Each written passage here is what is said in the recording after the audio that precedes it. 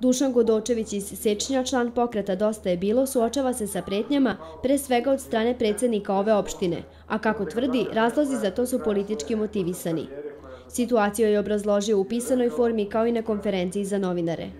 Cijela ova situacija političkog programa se događa zbog mog političkog angažovanja na lokalnim izborima u opštini Sečanj. E, nikoga nismo vređali, jednostavno smo zauzeli politički stav da više ovako ne može preti se otkazima i određenim revanšizmima protiv kojih ćemo se mi boriti na ovakav način istinom i, i, i hrabrim nastupima u javnosti. I neka znaju svi da je ovo možda stvarno konkretan slučaj, ali se odnosi na opšte stanje u državi.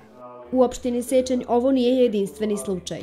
Šest dana pred izbore moj ujak Rajko Šešlija došao je sa vešću da je Predrag Milošević Karasi, predsednik opštine Sečanj, poručio njemu šta ovo radi tvoj sestrić, ovi moji hteli da ga gepekuju, ali ja ga ne dam. Tako da sam dobio direktnu zaštitu od prvog čoveka opštine Sečanj. Vodeći se transparentnošću za koju se zalažu, članovi pokreta Dosta je bilo reagovali su na ovu situaciju.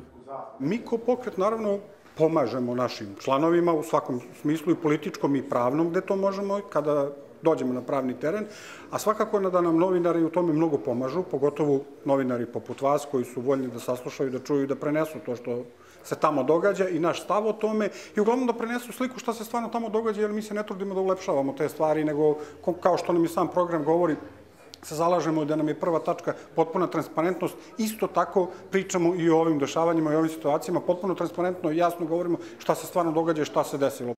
Na konferenciji je istaknuto da je ovo prva mera koja je preduzeta i da će se, ukoliko bude potrebno, za pravnu pomoć obratiti višim državnim institucijama.